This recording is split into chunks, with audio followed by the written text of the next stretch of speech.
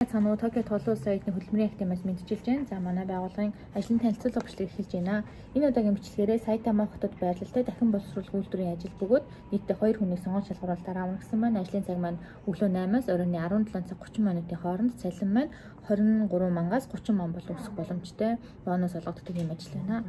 Япон хэлний төвшингийн хувьд мөн ямар нэгэн төвшин бол шаардаагүй. Тэгэхээр энэ 3 энэ 2 аваагүй байсан ч гэсэндээ ярилцлага өгч үзэх боломжтой гэсэн үг. Ярилцлага маань 4 сарын 25 буюу дараа 7 хоногийн даваа гарагт байгаа. Тэгэхээр та бүгдээ даваа гарагийн 11 цагийн ажлын өдөртөгтөө өрж байна.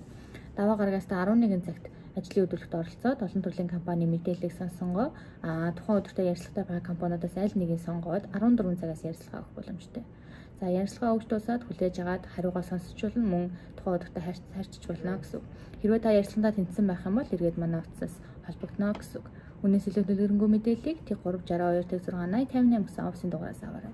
Бичлэгийн минь үзсэнд баярлалаа. Амжилт хүсье.